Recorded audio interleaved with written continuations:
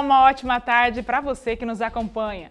E nuvens de chuva atravessam o centro-sul do país nesta sexta-feira.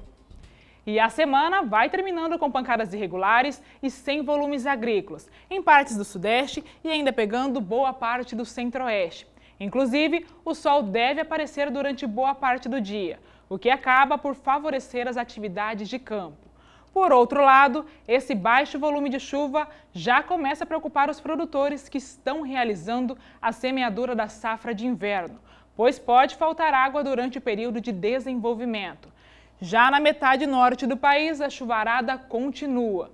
E mesmo que sejam pancadas rápidas e intercaladas com períodos de melhoria, ainda não se descarta o risco para transtornos, tudo devido ao solo já bastante encharcado.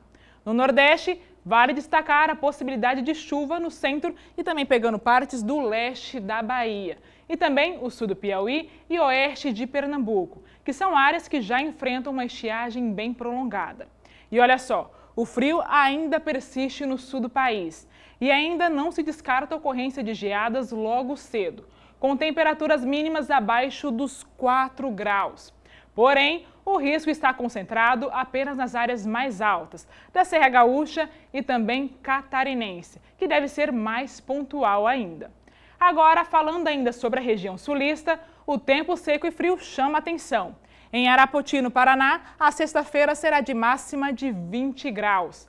Em Colombo, também no estado paranaense, o friozinho deve ser ainda mais intensa, com máxima de apenas 16 graus.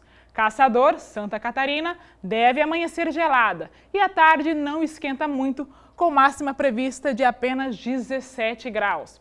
Já em Uruguaiana, no Rio Grande do Sul, máxima de 21 graus no período da tarde, apesar do predomínio de sol. E o agroclima fica por aqui, até a próxima!